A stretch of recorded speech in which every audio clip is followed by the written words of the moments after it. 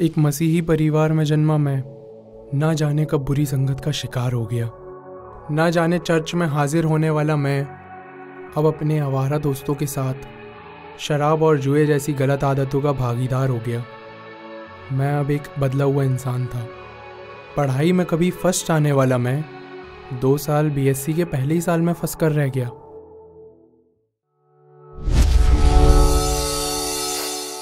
मैं अपने चर्च के हम उम्र दोस्तों से अपना नाता तोड़ चुका था। लेकिन सैम, मेरे द्वारा उसके प्रति बुरे व्यवहार के बावजूद भी, सैम मुझे इस दलदल से निकालने के लिए दृढ़ संकल्पित था। कभी कभी तो सैम को बहुत ही बेइज्जती का भी सामना करना पड़ता था।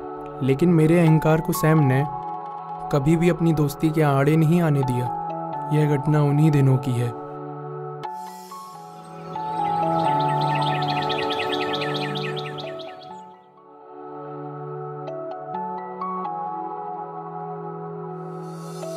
अरे कहाँ जा रहे हो? कोई जवाब क्यों नहीं देते? शाम को चर्च में मीटिंग है। तुम्हारी मदद की ज़रूरत है।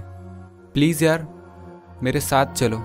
कुछ खरीदना है शाम के लिए। अरे जाने दो यार। क्यों पीछे पड़े हो? कहा ना नहीं आ सकता तुम्हारी मीटिंग में? एक बार में समझ में नहीं आता है क्या? एक बार आकर तो देखो। दोबारा नहीं कहूँगा। सभी लोग तुमसे मिलना चाहते हैं। अरे तुम जाओ यहाँ से। पीछा छोड़ो मेरा। क्या हुआ तुम्हें? इतना पसीना क्यों आ रहा है? ठीक तो हो। मुझे कुछ नहीं होगा। मैं ठीक हूँ। देखो मैं तुम्हारा दोस्त हूँ। अगर कोई प्रॉब्लम है तो मुझे बता दो। हो सकता है तुम्हारे कुछ काम आ जाऊँ। मुझे कुछ पैसों की ज़रूरत है। उधार मिल सकता है क्या? कितने चाहिए? बस एक हज़ार रुपये यार इतने तो नहीं है। दो सौ रुपये हैं। अगर इतने से काम चल सके तो ले लो। लाओ दे दो। बाकी के मैं कहीं से जुगाड़ कर लूँगा। ईशु मेरे दोस्त का ध्यान रखना ना जाने किस मुसीबत में फंस गया है। मैं सैम के दिए दो सौ रुपये लेकर सीधे एक ड्रग पैडलर के पास गया लेकिन ड्रग पैडलर ने मुझे इतने कम पैसों में ड्रग देने से इनकार कर दिया और मुझे धक्के देकर भगा दिया। मुझे समझ नहीं आ रहा था कि मैं करूँ तो क्या करूँ। तभी मेरी नज़र सड़क के उस पार जा रही महिलाओं पर पड़ी। जिनके पास पर्स थे मैंने कुछ सोचा और अपने चेहरे पर एक काला कपड़ा बाँध लिया। मैं दौड़कर उन महिलाओं के पास गया और इससे पहले कि वो कुछ समझ पाती मैंने एक का पर्स छीन लिया और वहाँ से भाग लिया। अपनी बुरी लतों की भूख को मिटाने के लिए मुझको एक आसान रास्ता मिल गया था चोरी का रास्ता।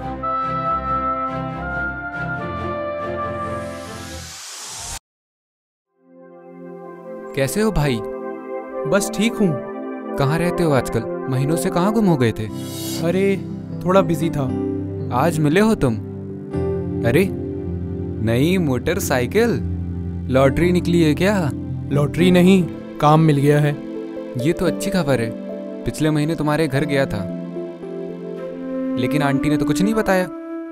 मैंने घर छोड़ दिया है। ओह अच्छा नहीं लगा सुनकर। लेकिन कोई बात नहीं। यह निर्णय तुमने सोच समझ कर ही लिया होगा। सैम माफ़ करना। मुझे काम के लिए लेट हो रहा है। बुरा मत मानना। मैं जल्दी में हूँ। अरे कोई बात नहीं। बस एक मिनट। दोस्त पिछले महीने तुम्हारा जन्मदिन था। मैंने तुम्हें बहुत ढूंढा। लेकिन तुम नहीं मिले। मैं इसे तब से अपने साथ लेकर घूम रहा हूँ। प्रभु का धन्यवाद कि तुम मुझे आज मिल गए। ये लो तुम्हारे जन्मदिन की गिफ्ट। थैंक यू क्या है ये? खोल कर देख लो। मैं चलता हूँ।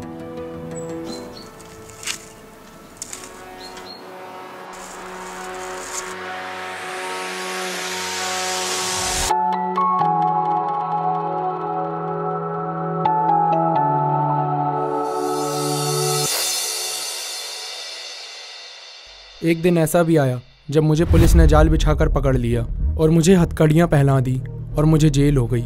मेरी वजह से मेरे माँ बाप की इतनी बदनामी हो चुकी थी कि उन्होंने मेरी जमानत कराने से साफ़ मना कर दिया और तब जेल की सलाखों के पीछे मुझे अपनी गलतियों का एहसास हुआ। मुझे अपने माँ बाप की बहुत याद आने लगी। हिम्मत करके मैंने एक दिन सैम को फ़ोन किया। सैम फ़ौरन मुझसे मिलने जेल आ गया। सैम ने मेरे लिए प्रार्थना की और मेरी हिम्मत बढ़ाई। मैं सैम से मिलने के बाद बाइबल पढ़ने और प्रार्थना करने लगा। मैंने रो रो कर प्रभु यीशु से माफ़ी मांगी। प्रभु यीशु मेरे पापों को क्षमा कर। मुझे अपना ले। आज के बाद मैं हमेशा तेरे बताए रास्ते पर चलूँगा। तेरी ही सेवा करूँगा। मुझे माफ़ कर दे। आमीन।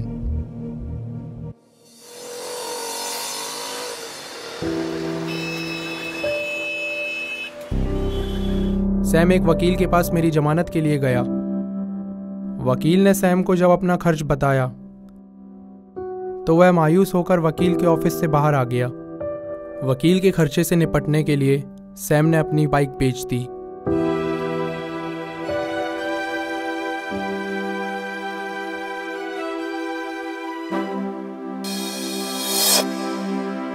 और उससे मिले पैसों को वकील के हाथों में दे दिया।